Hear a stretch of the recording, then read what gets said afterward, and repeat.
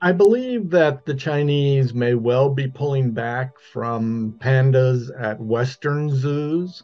Uh, I don't see them doing the same thing with places like Doha and Thailand. So there seems to be, with the United States, the UK, um, something going on here.